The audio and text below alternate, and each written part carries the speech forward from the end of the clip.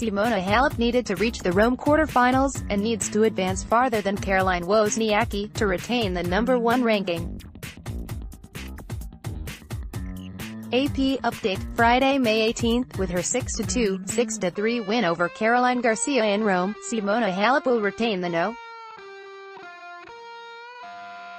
1 ranking next week and be seated first at Roland Garros.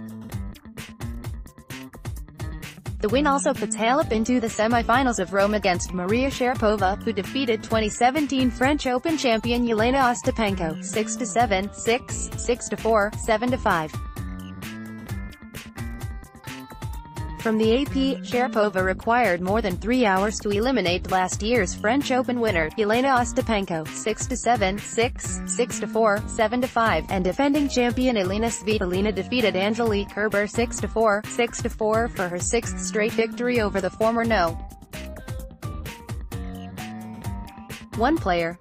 Svitolina will next face 26th-ranked Anett Kontaveit of Estonia, who beat Australian Open champion Caroline Wozniacki 6-3, 6-1. Sharapova's semi-final opponent will be either top-ranked Simona Halep or Caroline Garcia. Rome, AP, in the women's tournament, Simona Halep's hold on the no.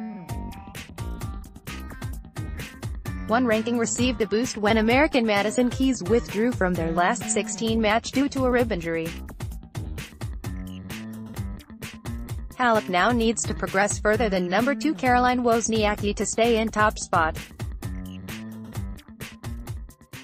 Wozniacki beat 15th-seeded Anastasia Sevastova 6-2, 5-7, 6-3 and next faces Anett Kontaveit, who ousted 1999 champion Venus Williams 6-2, 7-6, 3 for her second win over the American in two weeks.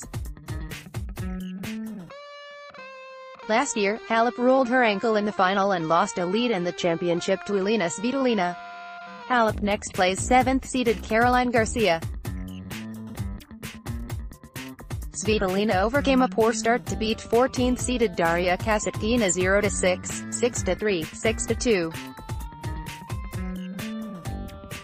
She'll now face former number 1 Angelique Kerber, who routed Maria Sakkari of Greece 6-1, 6-1.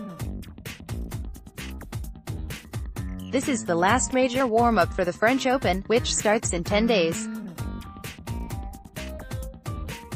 Jelena Ostapenko, preparing to defend her title at Roland Garros, rallied past Johanna Konta 2-6, 6-3, 6-4 and will meet three-time Rome champion Maria Sharapova, who eliminated Daria Gavrilova 6-3, 6-4.